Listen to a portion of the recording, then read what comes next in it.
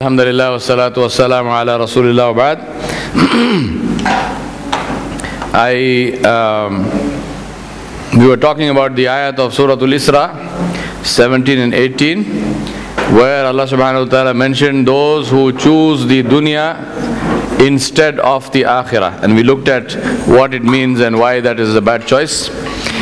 Allah subhanahu wa ta'ala then says in the next two ayat of Surah Al-Isra وَكُلًّا نُمِدُّ هَؤُلَاءِ وَهَؤُلَاءِ مِنْ عَطَاءِ رَبِّكَ وَمَا كَانَ عَطَاءِ رَبِّكَ مَحْظُورًا انظُرْ كَيْفَ فَضَّلْنَا بَعْدَهُمْ عَلَى بَعْدٍ وَلَا وَلَا آخِرَةُ أَكْبَرُ دَرَجَاتٍ وَأَكْبَرُ تَفْضِيلًا subhanahu wa ta'ala said to each of these as well as those. Wa which is people who are obedient and people who are disobedient. We bestow from the bounties of your rabb. And the bounties of your rabb are not close to anyone. See how we prefer one above another in this world and verily the hereafter will be greater in degrees and greater in preference Allah subhanahu wa ta'ala is saying in this ayah that as far as the dunya is concerned Allah subhanahu wa ta'ala gives to everyone Allah does not give the dunya only to the pious people uh, or and so on and so forth. Allah subhanahu wa ta'ala gives the dunya to everyone. In one hadith, Nabi sallallahu alayhi wasallam said, and we will see in the ayat of the Quran, which I will bring before you later on, uh, how Allah subhanahu wa ta'ala not just gives the dunya to the to disobedient people, but He actually gives a lot of dunya to them. Uh, and this is one of the signs of the uh, punishment of Allah not uh, it's not something to be happy about now allah subhanahu wa ta'ala mentions in one hadith nabi said that if this dunya had any value in the eyes of allah subhanahu wa ta'ala allah subhanahu wa ta'ala would not give anything of it to the people who are kuffar the people who deny allah they would get absolutely nothing if the dunya had any value if the dunya had any value for allah Allah would not give the dunya to anyone other than those who were obedient to Him. But the dunya has no value for Allah subhanahu wa ta'ala. And inshallah, when we look at the issue of Sunnatullah and Khudratullah, we will see what this means and why, uh, when we say dunya has no value, what it means. So Allah subhanahu wa ta'ala created this dunya, and this dunya is there for everybody. And in the dunya also Allah subhanahu wa ta'ala has given some more. Faddalna ba'dahum ala. Allah subhanahu wa ta'ala said we have given somebody, some people more wealth and more power and more authority and so on and some people we have given less. So that's uh, part of this dunya.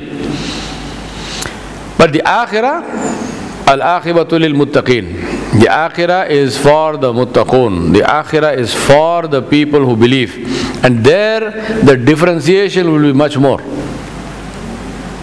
And that is where in the in one hadith of Nabi Sallallahu Alaihi Wasallam, uh, he said that a person will be sitting in Jannah on his throne and he will feel a gust of breeze, beautiful perfumed breeze, which he had not felt before. So he will ask the people, he will ask the khuddam, the servants that will be around him, he will say, Where is this breeze coming from? And they will say, This breeze is coming from the level of Jannah above yours.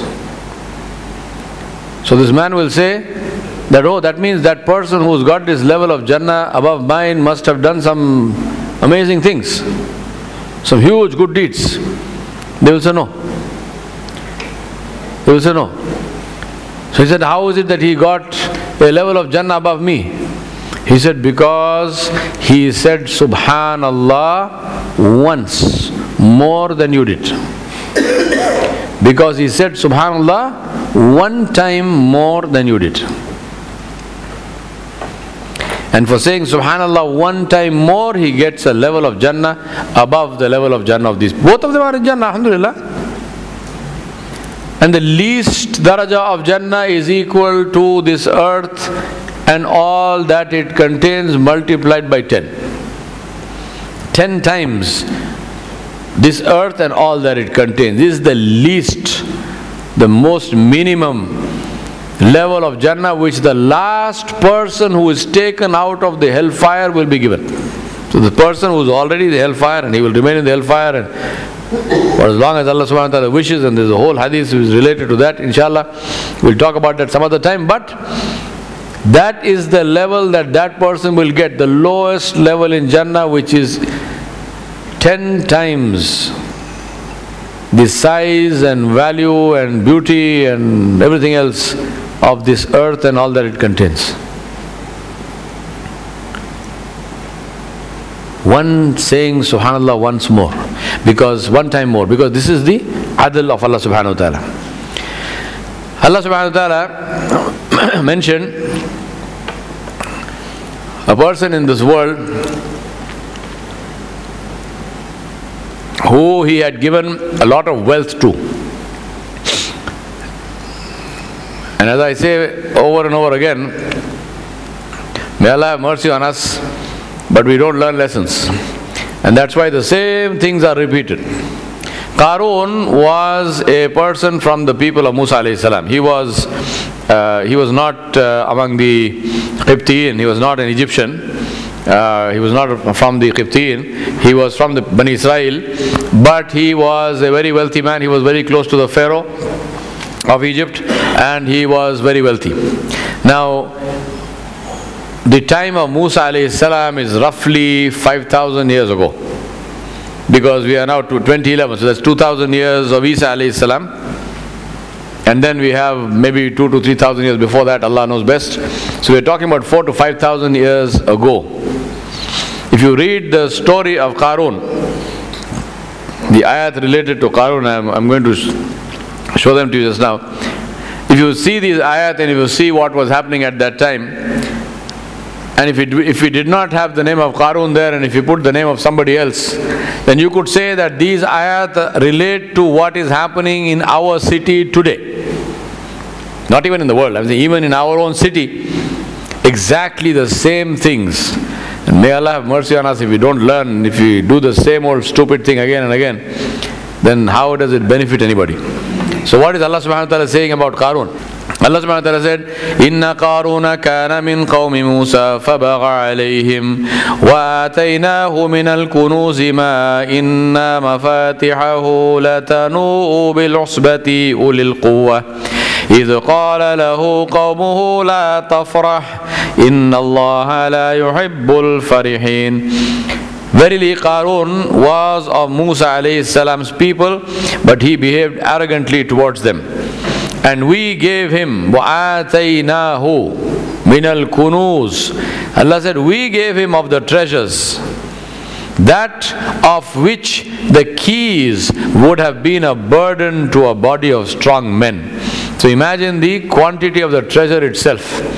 The treasure houses of, Ka- of Qarun, the keys to the treasure houses of Qarun, it took a whole group of strong men to lift the keys. So imagine uh, what is the actual quantity of those treasures. So what did Karun do? Karun was arrogant. And he rejoiced about all of this in an arrogant manner. And he rejoiced about all of this in a haram manner. So his people, some of, some of those people who were among the knowledgeable people, they said to him, Do not rejoice in this way. Verily, Allah does not like people who rejoice with ungratefulness.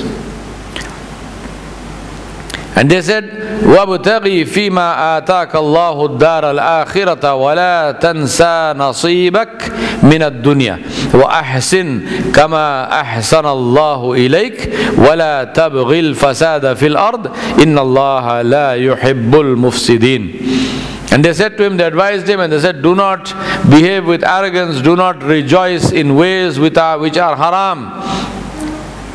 Do not call Sonu Nigam for a song session for your daughter's wedding and pay 50 lakhs. Do not have a Sangeet ceremony in your daughter's wedding because now that is the latest fashion. Eh? Rejoicing, but rejoicing in ways which are haram which was not permitted.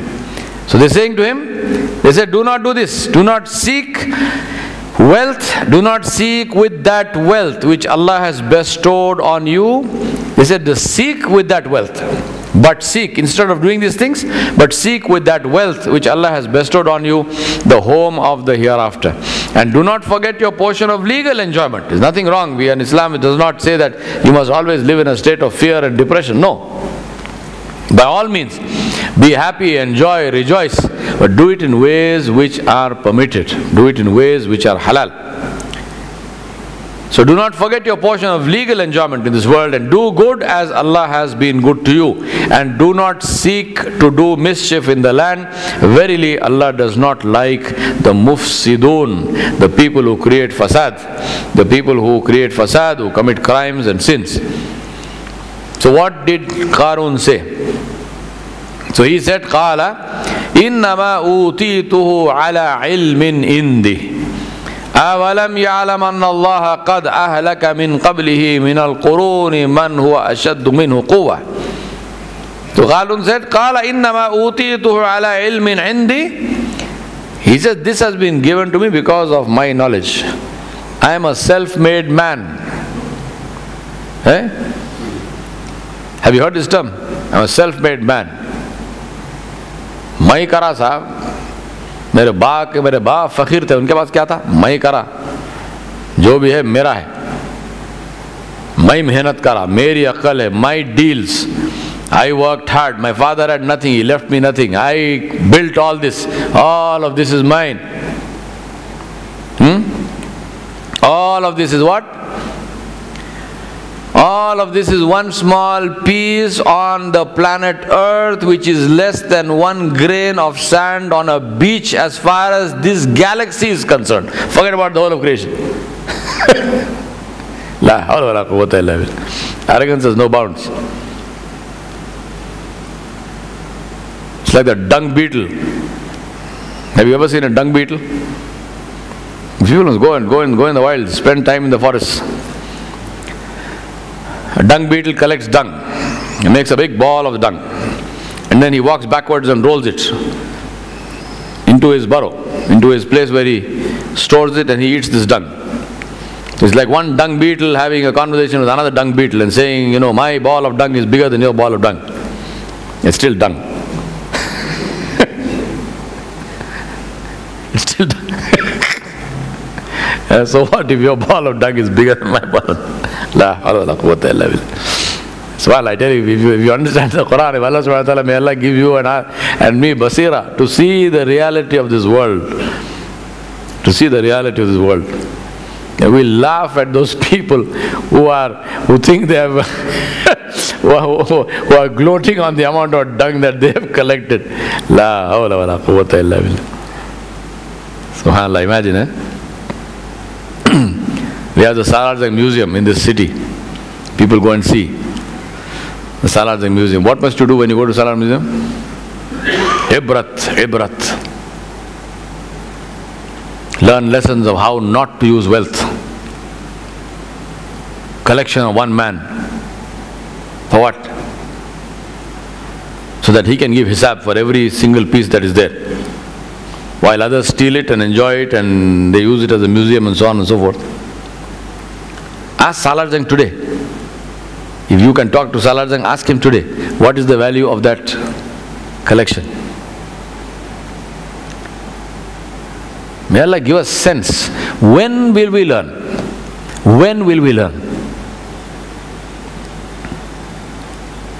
We tell people don't rejoice in ways which Allah subhanahu wa ta'ala has made haram. Don't rejoice in ways which Allah subhanahu wa ta'ala dislikes. What do they tell you? صاحب، ہماری بھی تو کوئی حیثیت ہے۔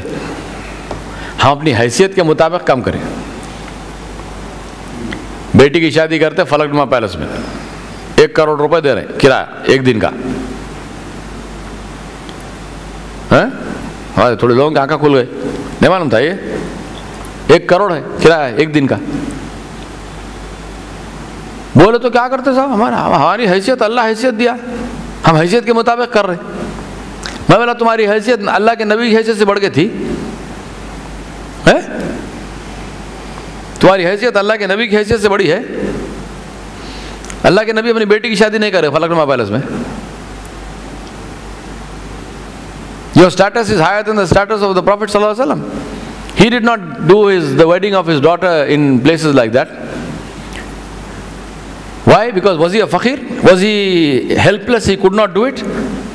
Or was he somebody, if he had wished, he had made dua to Allah subhanahu wa ta'ala, oh Allah, send me malaika.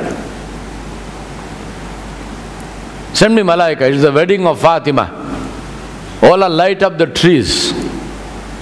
Make the streets of Medina paved with gold.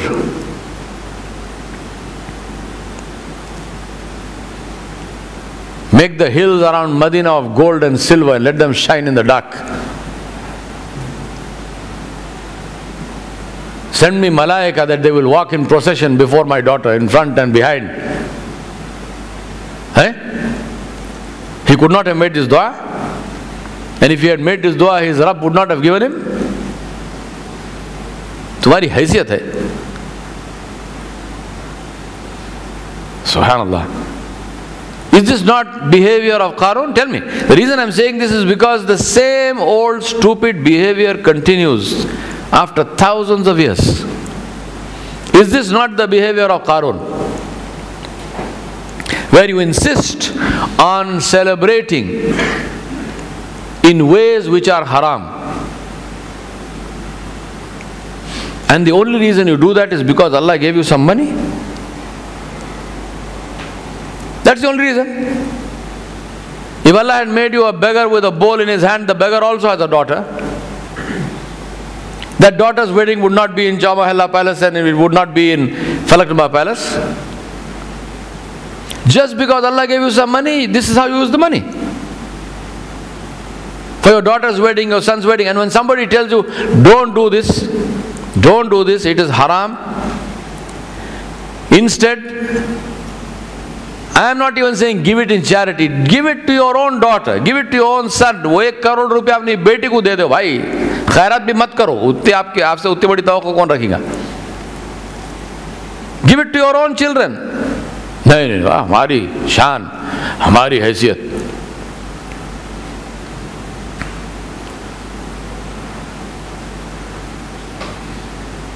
ہماری شادی میں انہیں آنا انہیں آنا، chief minister must come, this minister must come, that minister must come.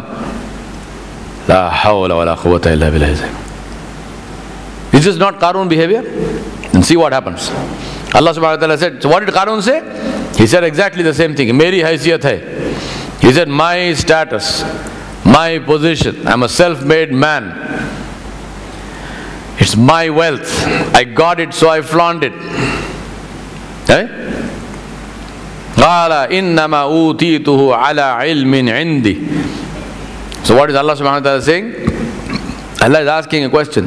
أولم يعلم أن الله قد أهلك من قبله من القرون من هو أشد منه قوة وأكثر جمعا ولا يسأل عن ذنوبهم المجرمون Allah says, so he said, Qarun replied, this has been given to me only because of the knowledge that I possess.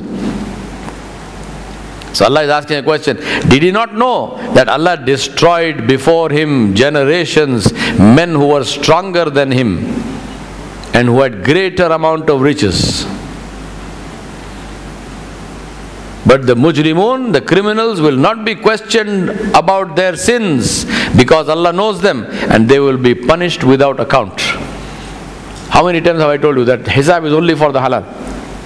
There is no hisab for haram. Haram is haram. Haram is straight in the hellfire. There is not even hisab for the haram. And that is why when we go and look at monuments and things, think about that.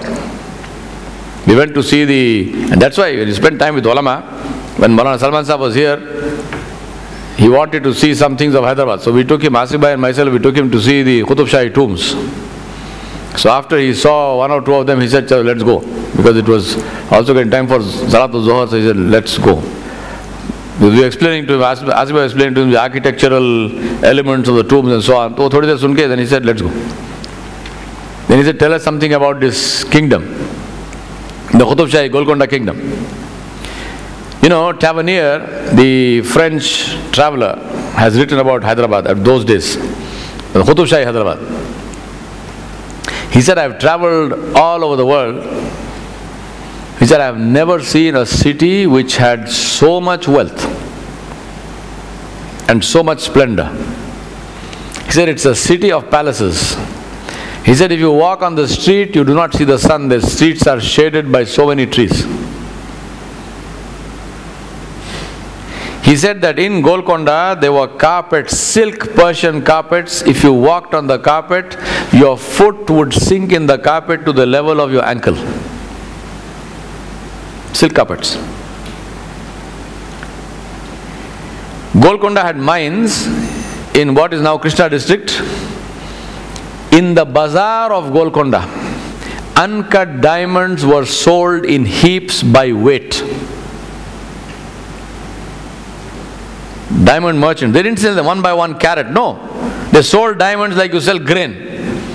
तोल के एक kilo हीरे होना दो kilo हीरे होना दस kilo हीरे होना uncut diamonds were sold by weight like you sell grain when Aurangzeb came here for the first time and laid siege because the Mir Jumla, who was the uh, prime minister of the king of Golconda, was a thief and he was stealing from the king. So the king uh, kept his family as hostage. So Mir Jumla uh, ran away and he went to Shah Jahan and presented him with Kohinoor. So Shah Jahan sent Aurangzeb to release the family of Mir Jumla. So Aurangzeb was in his 20s. So Aurangzeb came and, and laid siege to Golconda and he camped in a particular place and I'll tell you the name of that place in a minute. And uh, there was no actual war. The queen mother, she was the queen mother, she was the daughter, she was a princess in three ways, Hayat Bakshi Begum. She came out and there's a whole narration of the splendor of Hayat Bakshi Begum's caravan which came out of Golconda to meet the young prince, Mughal prince who was laying siege to the fort. So Hayat Bakshi Begum came and she was much older than Aurangzeb obviously. Aurangzeb was in his 20s and Hayat Bakshi Begum was older than his mother. And they did a deal and she asked him how much money do you want to go back? So later on, Aurangzeb says this himself. Aurangzeb said, I thought of asking for uh, 3 lakh rupees. But Aurangzeb was smart. So Aurangzeb asked him, how much can you give? Hayat Bakshi Begum gave Aurangzeb 3 crore gold coins. Not rupees. 3 crore. 30 million gold coins. They had to be taken in carts.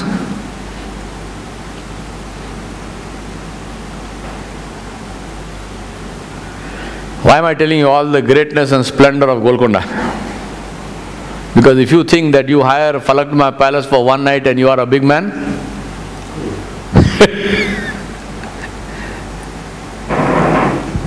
what about those whose traders used to sell diamonds by weight. Bazaar mein. What about them? You think you have money?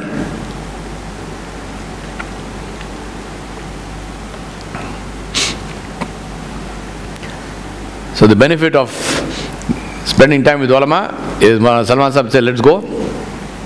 And then he asked, he told me, he said, Yaar Sahib, یہ کدھر گئے سب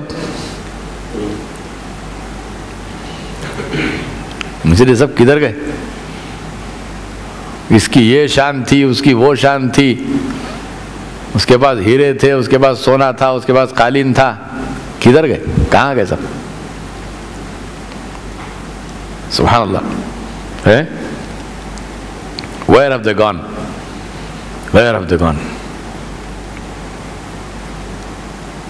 Somebody asked, there was a mushaira immediately after police action. And there was a shair there who, who took the prize by saying only one share. And it's one of those ashar which cannot be translated. So those of you who don't know Urdu, go learn Urdu. And share was کیسے کیسے ایسے ویسے ہو گئے اور ایسے ایسے ویسے کیسے کیسے ہو گئے بس how do trans no translation for this جس کو اردو آتی ہے وہ مزہ لیتا اس کا بولے کیسے کیسے ایسے ویسے ہو گئے اور ایسے ویسے کیسے کیسے ہو گئے think about this is the the benefit of reading history is that it gives you perspective so that you can then take the right decisions in your life. Point I'm making here is that Allah subhanahu wa ta'ala is telling us the story of Karun not for entertainment, not so that we can have some more stories to tell, but so we learn from that and at least we don't repeat those mistakes. And Allah subhanahu wa ta'ala is saying very clearly that Karun said, All I have is because of what I did and my own cleverness and my knowledge and the deals I made and so on and so forth. Allah subhanahu wa ta'ala is saying, Does he not know that there were those who had much more than him, but who Allah subhanahu wa ta'ala destroyed because they were disobedient? So today when we make these statements about our haysiyat and so forth, we must think about that. And then Allah subhanahu wa ta'ala says, but the mujrimun will not even be questioned about their jurm. Because Allah knows already what it is. And they will go into the hellfire without even hisab. And then, what did Harun do? Harun did what? Again, same things, same things. You don't buy a car because you need transportation. You, want, you buy a car because you want to show the world who you are. You don't buy a watch to tell the time. You, watch, you buy a watch to tell the world. Huh? So what did Qarun do? فخرج على قومه في زينته قال الذين يريدون الحياة الدنيا يا ليت لنا مثل ما أوتي قارون إنه لذو حظ عظيم So he went forth before his people in his pomp and splendor. And those who were desirous of the life of the world, they said, Ah, we wish Allah had given us what He has given Qarun. And verily, He is the owner of a great fortune.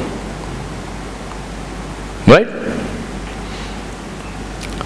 وقال الذين أوتوا العلم welcome ثواب الله خير لمن آمن وعمل صالحا ولا يلقاها إلا إلا الصابرون But those who had been given knowledge, the ulama, the people who had the knowledge of religion, they said, Woe to you! Don't talk like this. Don't say, I wish I had what Qarun has. Woe to you! Sawab that Allah gives, the reward of Allah in the hereafter is better for those who believe and do righteous deeds. And this none will attain except those who are patient in following the truth. And then finally Allah subhanahu wa ta'ala tells us what happened to Qarun. فَخَسَفْنَا بِهِ وَبِدَارِهِ فخسفنا به وبداره الأرض فما كان له من فئة ينصرونه من دون الله وما كان من المنتصرين Allah said so we caused the earth to swallow him and his palace we caused the earth to swallow him and his palace I was in Florida and we went to uh, visit somebody and in this nice uh, very beautiful colony there was one plot of land where there was a huge hole, huge pit. And it didn't look like a man-made pit because you know a man-made pit will have some uh, sort of uh, straight lines or whatever. But it just looked like. So I said, "What's this? This is just they are sinkholes." He said, "What's a sinkhole?" So a sinkhole is something where the earth suddenly collapses and it swallows entire buildings. Anything. It's A sinkhole can appear just like that. It just goes, boom, gone inside. And everything on top is gone in the earth. But the people who do not understand the why and the how, the people who, underst- who get stuck with the how, you ask them, what is this? They say, this is a sinkhole. You said, why does it happen? They say, because the earth collapsed. So, all right. So, how did it happen? Because the earth collapsed. So, excuse me, either you don't know English or I don't know English. I'm asking you two separate questions.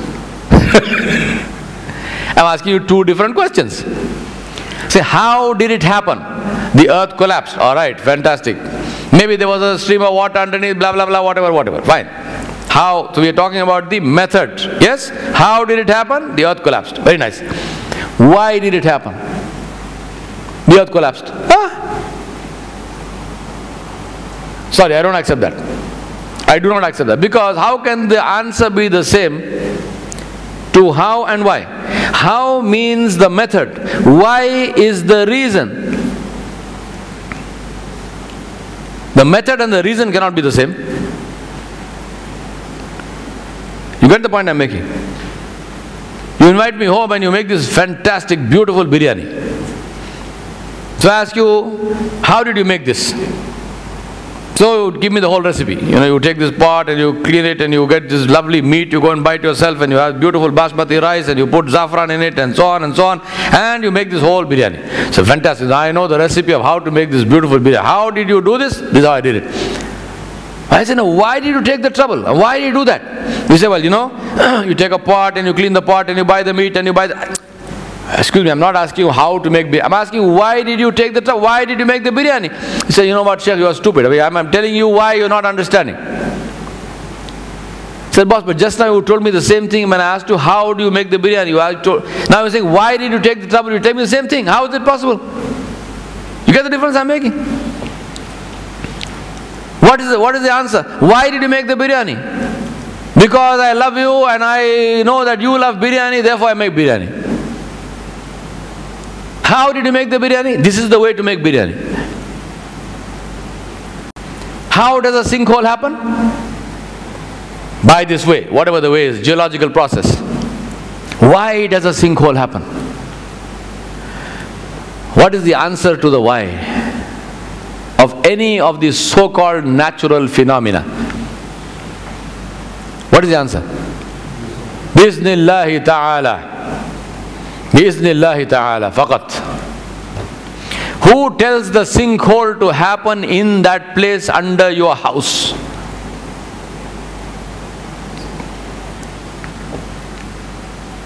Were there sinkholes happening all over Egypt? Why did the sinkhole happen under the house of, of Qarun when Qarun was in it?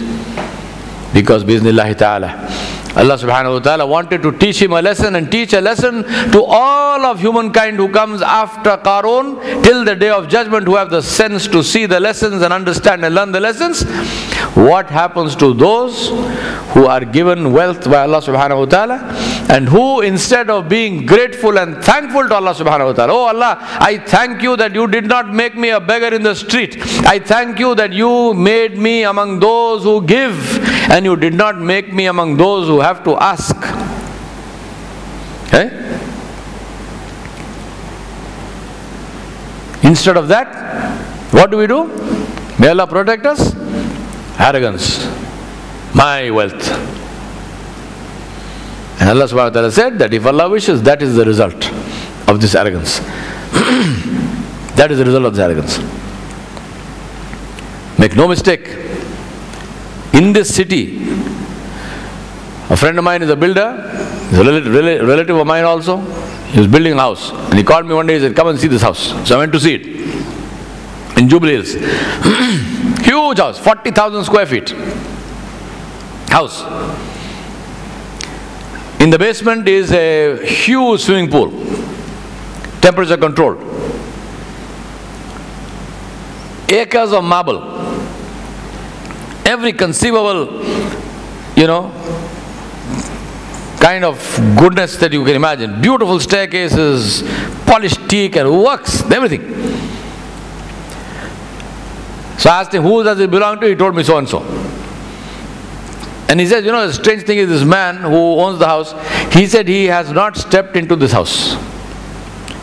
His wife comes and sees and goes and so on. He said, I will only step into the house when the house is completed. I don't want to see the house while it is being built. Right? And then one day he called me and he said, well, you know, I remember the house. I said, yeah. He said, tomorrow we're handing, handing over the price, uh, handing over the keys. So this man is going to see this beautiful house that he built for the first time. And that night, the man committed suicide and died. That night, the night before he was to be given the keys of this house that he was building, he committed suicide and died here in the city. Doesn't take long, my brothers and sisters, for Allah subhanahu wa ta'ala to change one condition into another condition. We ask Allah subhanahu wa ta'ala to give us khair and to always protect us from evil and protect us from His anger. But do remember that it is necessary to ensure that we do not do the deeds which attract the anger of Allah subhanahu wa ta'ala. And Allah subhanahu wa ta'ala, what did He call the ones who do these things? Innal mubaddirina kanu ikhwana shayateen wa kana shaytanu li rabbihi kafura. Allah said, verily, spendthrifts, people who spend money like that, the people who show off, the people who throw money like water, and who spend money in haram, these are the brothers of shaitan. Ikhwan al-shayateen. They are the brothers of the shayateen. And verily the shaitan is ever ungrateful and, and, and a kafir. Ungrateful to Allah. I am saying this to you because I know that none of you who are sitting here will hire the Falaknuma Palace or Chowmahalla Palace for the weddings of your sons and daughters. But I know that many of you will go to those weddings and attend those weddings. Don't fool yourself. Do not fool yourself. By your action, you are supporting haram. By your action, you are supporting haram. Imagine the effect of this. That somebody wants to have this wedding in Falaknuma Palace and he invites all these people and then in the evening is standing there and nobody turns up. Nobody comes. It won't even go to that extent because when he is inviting itself, anyone who invites, he tells them, no, no, no, don't do this. We sorry, we won't come. We won't come. Have you not heard the stories of places like Chennai and Aurangabad where there is a, the, among the Muslim community, there is a order to say that a wedding party must have only these kinds of food and very simple food. And anyone who breaks that tradition, we will not attend the wedding of that person. And weddings, alhamdulillah, are done in a simple manner. I'm not talking about rocket science. I'm not talking about things which can't be done. Can be done and can be done here. But what do we have here? We have on the one hand people who insist on flaunting their wealth in haram ways, and on the other hand, we have people who go and participate in that. Who go and participate in that. They accept those invitations, they go to those weddings. My driver tells me one day he said صاحب آپ ہی چھے جو نہیں جاتے سو کئی کو بولو تو میں بولا او تو took the names of so many people he said وہ فلانے صاحب تو شیروانی پہن کا ایسا چمک رہے تھے please jokes apart do not participate in things that attract the anger of Allah سبحانہ و تعالی Because when the anger of Allah subhanahu wa ta'ala comes, it will come on anyone who is there. Don't go and don't say. No. You say, I will not participate in what you are doing. What you are doing is haram. Don't do it. I am telling you for your own good. I will not come. Two benefits, two possible benefits of this course of action. Number one, the person himself or herself will get some hidayah, inshallah. And they will say, Yes, you are right. We should not be doing this. We won't do it. Alhamdulillah. Benefit, possible benefit number two is they will say, you know, you are a pain in the neck. Sorry, so we will we don't want you with us. Alhamdulillah. No problem. We are free from this. But do not participate. Do not go. Refuse to attend the even if it is your own relative, even if it's your own brother or sister. Do not go and don't attend those weddings. And don't attend those parties. The ties of family are less important than the tie with Allah subhanahu wa ta'ala. So before somebody gives you a fatwa to say, no, no, but you have to maintain the ties of kinship. You don't maintain the ties of kinship at the expense of the tie with Allah, Allah, uh, uh, uh, Allah subhanahu wa ta'ala and Nabi sallallahu alayhi wa The tie of kinship comes after the tie with Allah and His Nabi sallallahu alayhi wa Refuse to attend. Don't go. Don't eat food in that place. Don't participate in those weddings. And say it very clearly why you are not doing it. Please understand. Don't be among those who Allah subhanahu wa ta'ala is mentioning here and saying Ikhwanu Shayateen. Surely we don't want to be called the brothers of shaitan, yes? Allah subhanahu wa ta'ala talking about risk again Allah subhanahu wa ta'ala said Allahu latifum bi'ibadihi yarzuqu man yasha wa huwa al-qawiyyul aziz من كان يريد حرث الآخرة نزد له في حرثه ومن كان يريد حرث الدنيا نؤتيه منها وما له في الآخرة من نصيب Allah said Gracious is Allah subhanahu wa ta'ala to His slaves. He gives sustenance to whom He pleases, and He has the power and He can carry out His will. Allahu latifum bi ibadihi. Now again, problems of translation. Latif is gracious is Allah, yes, but Latif also means He is aware of the minutest need of that person. Latifum bi ibadihi. With the smallest, minutest need, Allah is aware of this. يرزق من يشاء And Allah subhanahu wa ta'ala gives to whom He pleases. وَهُوَ الْقَوِيُّ الْعَزِيزُ I always say, whenever Allah subhanahu wa ta'ala mentions His attributes, ask yourself, why is Allah subhanahu wa ta'ala mentioning that particular attribute? Why is Allah not saying here, وَهُوَ غَفُورٌ rahim? Why is He not saying, وَهُوَ الْغَفُورُ rahim?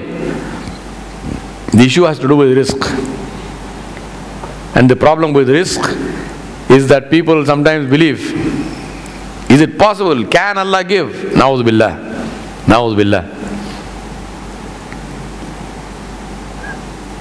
The people who understood the Quran, the Sahaba, Rizwanullahi alayhim ajmain, they used to say that if the earth became steel, iron, and if the sky became copper, we still would believe that if our Rabb wanted to feed us, He would feed us. These are people who did agriculture, so they are talking in terms of the rain and the earth and so on and so on. You see, if the earth became iron, steel, and if the sky became copper, then we are still not afraid. We are not afraid, we are not anxious what will happen to us. Because the Rabb who feeds us, He is not bound by the conditions of His own making. So Allahu latifum bi yarzuqu man yasha. Wa huwa al-qawiyul aziz. Gracious is Allah to his slaves. He gives sustenance and he's aware of them and aware of all their needs. He gives sustenance to whom he wills and he has power and can carry out his will. To any that desire the tilth of the hereafter we give increase in his tilth the one who desires tilth is the uh, is, is the harvest so the one who desires the harvest of the hereafter, we give increase in the harvest. And to the one that desires the harvest of this world, we grant him somewhat thereof, but he has no share in the hereafter. وما لهم في الآخرة من نصيب آخرت میں اس کے نصیب میں کچھ نہیں May Allah save us. Allah subhanahu wa ta'ala tells us that we that what we see as his bounties on people of this world are from his Mashiyyah. My brothers and sisters, let's understand this one thing very clearly. We get confused by material wealth. And we say, Saab, unke upar Allah ka bhot fazal hai. Asa, kaisa hai saab fazal bole to unke paas char gaadiyan hai. Mere paas ek cycle. Fazal of Allah is translated into in terms of wealth.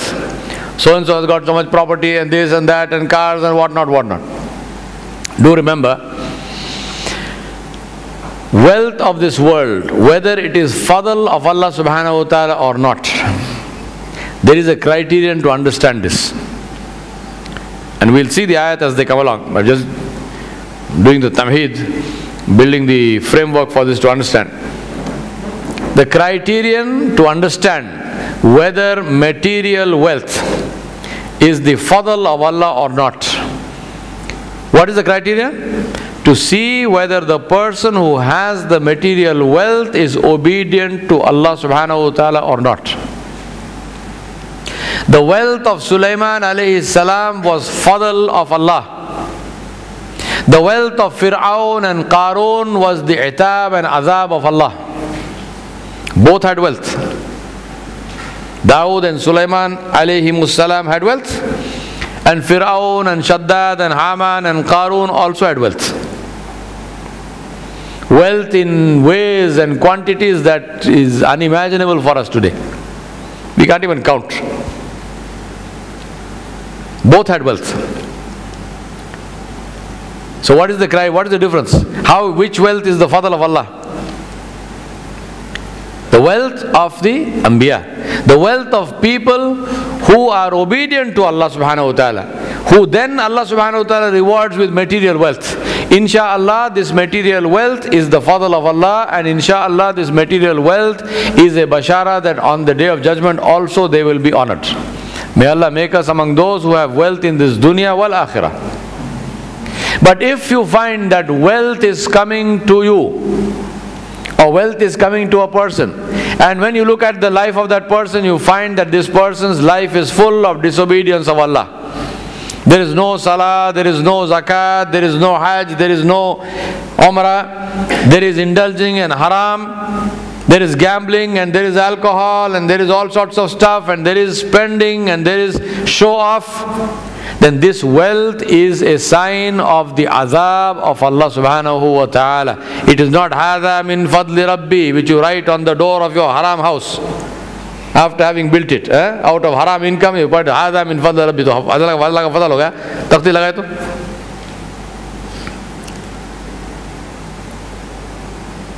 People who are getting wealth while they are disobeying, disobeying Allah subhanahu wa ta'ala this is a sign of the adab of Allah. And we look at the ayat. I'm not speaking without proof. I will give you the dalail for this. So Allah subhanahu wa ta'ala tells us that what we see as His bounties on people of this world are from His Mashiyyah. These are not the results of the efforts of those people and they are a test and sometimes a source of great loss. Allah also warns those of us who hanker after this life that if He were to increase our provision, we would become rebellious. And subhanAllah, really I tell you, sometimes you think about this. Many people today in this world are indulging in haram for only one reason because they have money. If they didn't have the money, they wouldn't be able to do it. They would not be able to do it if they didn't have the money. How do these young people go and sit in, in, in, the, in the coffee shops and spend I don't know how much doing all sorts of stuff? Why? Because they have money. Money can be a source of goodness or it can be a source of great adab. And also do remember that most of the time it is a source of adab. The number of people who have wealth and who are still on the straight path is very small. Make no mistake and don't think, no, no, but I will be that one. Ah. The number of people who have wealth and that wealth takes them down the drain, huge number of people. Huge number of people. Wealth and fame are two things that have the maximum power to take you down the wrong path. We ask Allah subhanahu wa ta'ala to protect us from the evil of both. So Allah subhanahu wa ta'ala is saying that Allah actually does not increase our rizq because if He increased our rizq, we would become rebellious. So shortening of provision is actually a sign of the mercy of Allah in order that we may be protected from the punishment of transgression. Now obviously we don't ask Allah subhanahu wa ta'ala to restrict our provision, we ask Allah subhanahu wa ta'ala to give us plenty with khair and halal and to keep us on the khair. But when we are faced with difficulties, we don't complain. We turn towards Allah subhanahu wa ta'ala for His mercy and we act with sabr and shukr.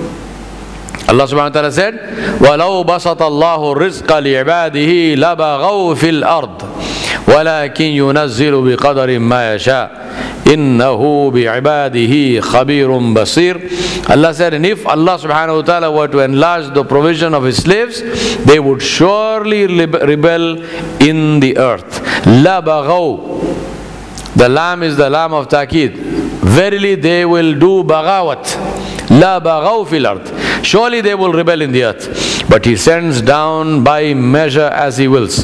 Verily, he is in respect of his slaves, well aware, and, the, and sees all, all seer of things that benefit. Shaitan frightens us with poverty, but Allah subhanahu wa ta'ala comforts us with his power. Question is, who do we believe? I'm seriously asking myself this question. I'm asking you to ask yourself this question. Who do you believe, Allah or Shaitan? We have to ask this question. As no use saying, no, no, no, no, but you know, I'm Muslim. No, no, no.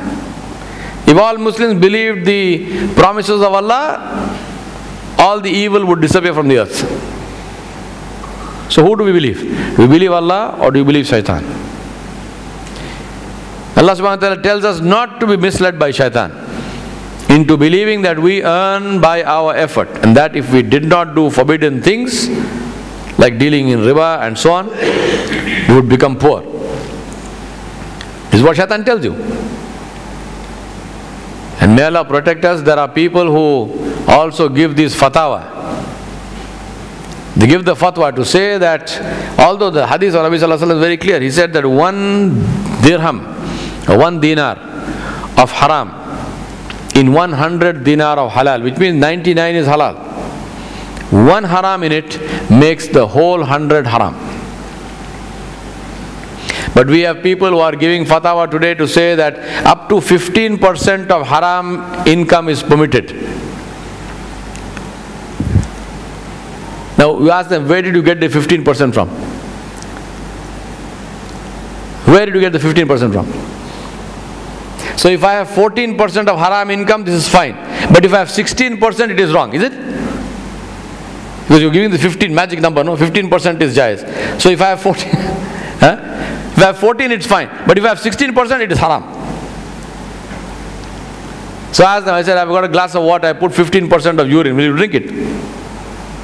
People object and don't give dirty examples. Dirty examples are the ones that stick. You know, George Bernard Shaw said there's no point in saying something which does not get people upset. Because the only time people act is if they are upset. So he says, if you are speaking and people are not getting upset, there's something wrong. Seriously ask yourself this question. And then there is this great mistaken impression that people have. Where they come and tell, if you tell them, boss, you, you know what you're doing is wrong. No, no, मेरे पास fatwa hai. and they will tell you the name of so and so. By inke by inka fatwa, unka fatwa. Kon falane. I have a fatwa of so and so. Please understand very clearly. You know what is a fatwa? A fatwa is a legal opinion. It is not a ruling. It's not a ruling. The law does not change because of a fatwa. It's like going to a tax lawyer and saying, Am I liable to pay income tax? And the tax lawyer says, No, no, no need to pay income tax. So you don't pay income tax. Then after five years, you get a raid on your house and they cut away everything, including yourself and your jewelry and whatnot, and the income tax department puts a fine of 50 million on you. So you take your lawyer's fatwa and you say, you know what, my lawyer told me I need not pay income tax. So the income tax department, what will they do? They laugh in your face and they say, you are a fool, your lawyer is a bigger fool. Law does not change because your lawyer misinterpreted the law. He didn't understand the law, gave you a wrong opinion. Law does not change. You are liable for tax, so now shell out the money or go sit in jail. So how does this fatwa that you have got to say that 15% of haram is jais, how does it change the law of Allah subhanahu wa ta'ala which says that even one drop is not jais? Because Allah subhanahu wa ta'ala is pure and Allah does not accept anything which is, which is impure. How does the fatwa of your compliant alim change the word of Muhammad sallallahu alaihi wasallam?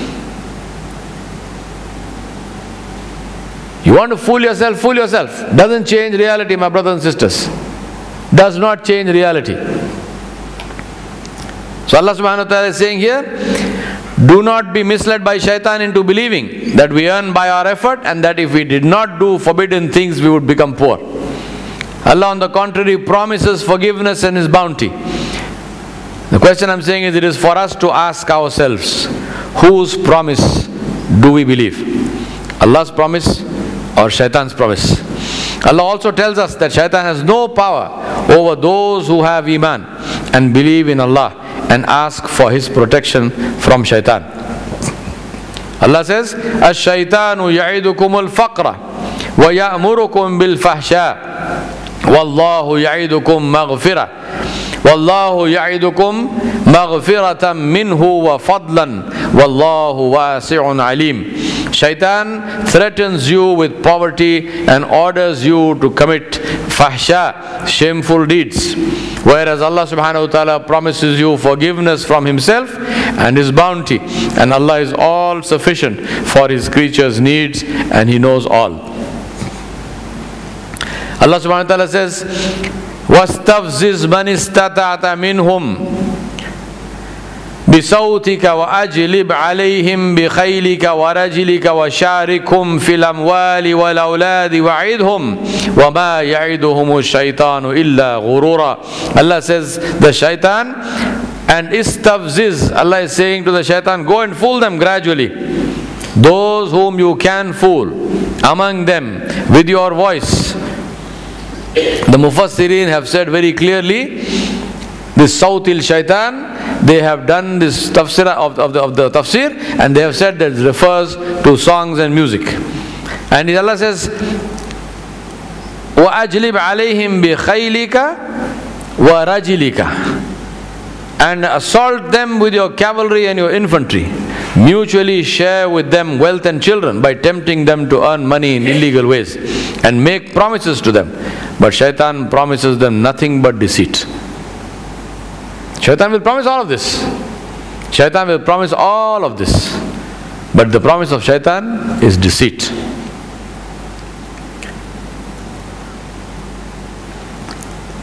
And that's why Allah subhanahu wa ta'ala is saying, إنما ذلكم الشيطان يخوف أولياءه فلا تخافوهم وخافوني إن كنتم مؤمنين Allah says it is only shaitan who suggests to you the fear of his awliya the friends of shaitan so don't fear them but fear me if you are true believers fear don't fear them fear me if you are true believers people will tell you صاحب آپ ایسا نہیں کرو تو کیسا لوگ کیا سمجھیں گے سمجھ لیتے آپ کیا کرنا ہے اس سے اور کوئی کچھ نہیں سمجھتا this is another big fallacy big fallacy First of all, it doesn't matter. Secondly, even if it mattered, we, we, we think people are you know, concerned enough to really think and have opinions about you. They're not. They don't care. They have their own lives to lead. It's all from shaitan leading us into ways which are destructive for us. So what should you do? Ask the refuge of Allah subhanahu wa ta'ala. وإما ينزغنك من الشيطان نزغ فاستعذ بالله إنه سميع عليم. إن الذين اتقوا إذا مسهم طائف من الشيطان تذكروا فإذا هم مبصرون. Allah said and if an evil whisper if a waswasa comes to you from shaitan then ask the protection of Allah. Verily he is the all hearer all knower verily those who are al muttaqun people who have taqwa when an evil thought comes to them from shaitan, they remember Allah and indeed they then see correctly. If a thought comes from shaitan, then you say, A'udhu billahi minash shaitan rajim. And Allah subhanahu wa ta'ala will guide inshallah. And that's the promise of Allah subhanahu wa ta'ala. Shaitan is the one who deceives and the one who deserts. Allah said, وَقَالَ الشَّيْطَانُ لَمَّا قُضِيَ الْأَمْرُ إِنَّ اللَّهَ وَعَدَكُمْ وَعَدَ الْحَقِّ ووعدتكم فأخلفتكم وما كان لي عليكم من سلطان إلا أن دعوتكم فاستجبتم لي فلا تلوموني ولوموا أنفسكم ما أنا بمصرخيكم وما أنتم بمصرخي إني كفرت بما أشركتموني من قبل إن الظالمين لهم عذاب أليم In Surah Ibrahim, Allah subhanahu wa ta'ala mentioned what the shaitan will say. And the shaitan will say when the matter has been decided on the day of judgment, when the Jahannam has been decreed for the people who obeyed shaitan, the shaitan will say, will say to them, Verily Allah promised you a promise of truth, and I too promised you, but I betrayed you. I had no authority over you except that I called you and tempted you, and you responded to me. So blame me not. فَلَا تَلُومُونِي وَلُومُوا أَنفُسَكُمْ Don't curse me, curse yourself. Don't blame me, blame yourself. I cannot help you, nor can you help me. I deny your former acts in associating me as a partner with Allah. Now you might say, I'm not associating shaitan with Allah, but if you are obeying the shaitan, then you are committing shirk and you are joining the shaitan with Allah subhanahu wa ta'ala. Yes? In Surah Al Furqan, Allah subhanahu wa ta'ala mentioned this very clearly. Where He said, The people who follow their hawa, they are committing shirk. They have made their desire into their ma'bud. And verily there is a pa- painful torment for the zalimun. The shaitan will say this, deserter. He will come and whisper and you follow him and then he washes his hands clean and he said, I have nothing to do with you. Whatever you did is on your head. Yes? And Allah subhanahu wa ta'ala mentioned this, this issue of joining our desires and doing shirk because we worship our desires. أَفَرَأَيْتَ مَنِ اتَّخَذَ إِلَهَهُ هَوَى أَفَأَنْتَ تَكُونُ عَلَيْهِمْ وَكِيلًا in Surah Al-Furqan, Allah subhanahu wa ta'ala asked Nabi sallallahu alayhi wa have you not seen those who have made ilahahu hawa, who have made their own desires their ilah, their ma'bud, who have made their desires the object of their worship. They worship their desires instead of worshipping Allah. What is the meaning of that? I have a desire to do something which is haram, but I do this haram even though I know it is haram. So who am I worshipping now? The desire. Afanta takunu alayhim wakila. Allah subhanahu wa ta'ala says to Nabi Sallallahu Alaihi Wasallam, Are you going to intercede for these people? Are you going to be the wakil for these people? Allah subhanahu wa ta'ala is prohibiting his Nabi from interceding for such people. He's prohibiting his Nabi from asking forgiveness for such people. Can you imagine? Can you imagine? Think about this before you spend your money in doing things which are haram.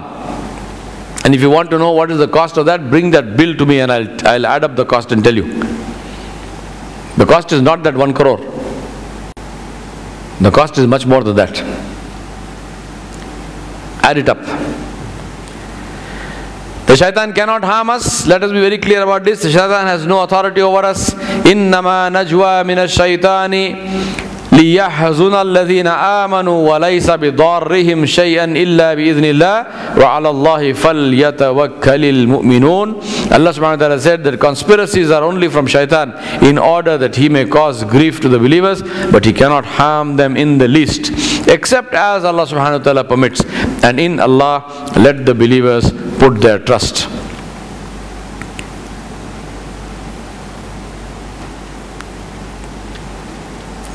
Harm and benefit comes only from Allah. Right? Now, if you think about this, when we are saying harm, except we, here Allah subhanahu is saying the shaitan cannot harm the believers and no harm can come to them except what Allah wills. Now, you might say, well, why does Allah want to harm me? Allah does not want to harm us at all. When we are saying harm, what we mean is that what appears to be harm, but actually this is the ni'mah of Allah subhanahu wa ta'ala. For example, we all make dua and Rasulullah said the one who does not make dua for shahada with ikhlas has died without iman. Died without iman. To make dua for to die as a shaheed fi sabilillah is part of iman. And it's, Allah, it's up to Allah subhanahu wa ta'ala how He wants to give us this. And we ask Allah subhanahu wa ta'ala to give us this in the best way that is in keeping with what He likes. So Allah subhanahu wa ta'ala, person may die in his bed, but Allah may give him the reward and daraja of being shaheed fi sabil. Allah Allah subhanahu wa ta'ala can give. But the story of the Sahaba, Nabi sallallahu alaihi wasallam, some people came and they asked Rasulullah sallallahu alaihi wasallam, they said, a man, a delegation came from one of the big tribes. And the leader of the delegation, the man was a, was a crook and he was deceiving. So he came and he, uh, with his delegation, and he said to Nabi Sallallahu Alaihi Wasallam, he said, please send us a group of your uh, your Qurra, your people who know the Quran, the Hufaz and the Qari of the Quran, because we want them to teach the Quran to our people. So Rasulullah sent a group of Qurra under the leadership of one of them, and uh, these uh, Hufaz of Quran, the Sahaba, they went with these people. Now when they reached their tribe, uh, the real purpose came forth and uh, this man got all of them arrested and eventually they killed all of them. But the leader of them was talking to this man. And while he was talking to this man this man signaled to one of his uh, people. And that man from behind he speared this sahabi right through his chest. So he hit him in the chest, in the back, and the spear came out of his chest. And this Sahabi, when, the, when that happened, when the spear hit him and came out of his chest, he said, Fusto bi Rabbil Kaaba. He said, I have succeeded by the Rabb of the Kaaba. And he died. He said, Fusto bi Rabbil Kaaba. Eh? Now, the man who killed him, he was so affected by what he said that he went and asked people, he said, What does he mean, Fustu bi Rabbil Kaaba? How did he succeed? Just killed him. He said, I just killed him, he died. He says, Fustu bi Rabbil. How did he succeed? How did he succeed? They said, Because he has attained Shahada fi Sabilillah. He said, Allah subhanahu wa ta'ala is pleased with him, Allah gives him Jannah. He has succeeded. The man was so affected by this that he became Muslim. And when this was reported Nabi Sallallahu Alaihi Wasallam said, see the, the, the, the, the mercy of Allah. The one who killed and the one who was killed both get Jannah. Ajib, eh? He made Tawbah and he became Muslim. So Rasulullah Sallallahu Alaihi Wasallam said, said, see the mercy of Allah. The one who killed and the one who got killed both became The reason I'm explaining this to you is that on the face of it, what happens might look like harm. Say, so and so was killed, harm. So and so's family was destroyed, harm. And it could not have happened unless Allah willed. Without the will of Allah, it cannot happen. But we have to see behind this, the circle, behind the surface. If that person died in the path of Allah subhanahu wa ta'ala, it is not harm. It is the greatest goodness that can exist. Because one day we die anyway. One day we die anyway.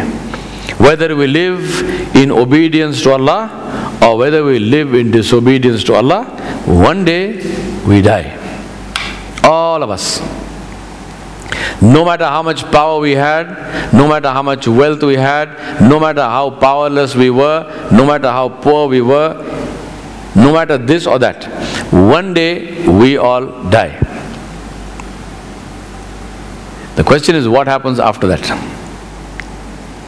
And if our life and our death was spent in the path of Allah in obedience to Allah subhanahu wa ta'ala, as a result of which when we die we get Jannatul Firdausul Ala bi ghairi hisab, there is nothing that can compare with that. And on the contrary, if we lived in this world in great pomp and splendor, in great comfort, and we died in that state in the disobedience of Allah, as a result of which we end up in the wrong place on the day of judgment, then all of this pomp and splendor and so on will not be worth the wing of a mosquito. Nothing. Absolutely no worth. I ask Allah subhanahu wa ta'ala to make it possible and easy for us to obey Him and to live a life of obedience. And I ask Allah subhanahu wa ta'ala to give us shahada fi sabilihi to give us shahada in His path. I ask Allah subhanahu wa ta'ala to guide us to lead a life that is a source of blessing for us in dunya as well as the akhirah. I ask Allah subhanahu wa ta'ala to make it easy for us and I ask Allah subhanahu wa ta'ala to guide us and our families. I ask Allah subhanahu wa ta'ala to forgive us and our families, those who have gone before and those who are to come, and to ensure that we live our lives not only as obedient slaves of Allah subhanahu wa ta'ala, but I ask Allah subhanahu wa ta'ala to make our lives a source of guidance for others who come into contact with us so that we spread goodness around us wherever we might be. Ala nabiyil kareem wa ala alihi wa ashabihi ajmain bi rahmatika ya arhamar. We will continue our class again inshallah next Saturday at the same time uh, which is 5 p.m. and Saturday and Sunday and we will do the rest of the uh, lectures on rizq. Wa sallallahu ala nabiyil kareem wa alihi wa sahbihi ajmain.